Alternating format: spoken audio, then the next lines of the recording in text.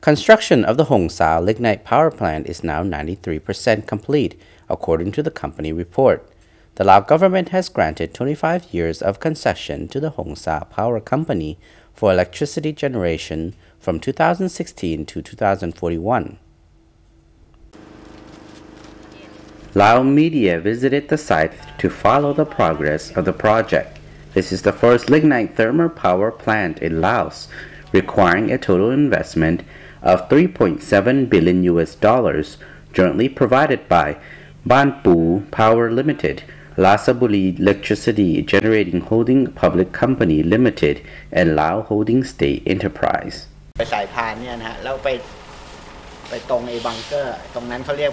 According to Hongsa Power Director, Power Plant Construction, Rassamee Youpanich, the plant will commence power generation with the first unit in June next year with the second unit following at the end of the year, and the third unit at the beginning of 2016.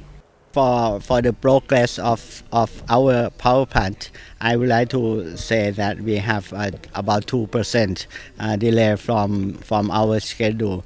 So our plan now uh, it should it should be ninety six uh, percent, but uh, unfortunately because of some problems of uh, the transportation and and the and some limitation of the access area. So our our uh, construction plan uh, was delayed about two percent.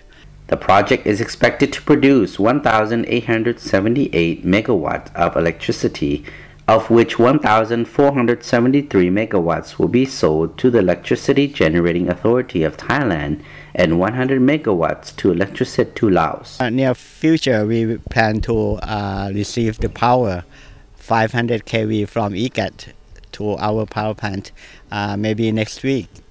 Uh, hopefully, and next we will try to uh, run up our uh, plant, the turbine.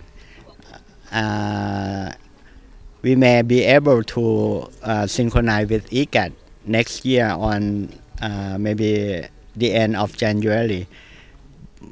The Lao government has granted 25 years of concession to the Hongsa Power Company for electricity generation from 2016 to 2041. The Hongsa Power Company Limited plans to raise the income of villagers displaced by the construction of the Hongsa Thermal Power Project in Sayaburi Province by 150% over the next 10 years.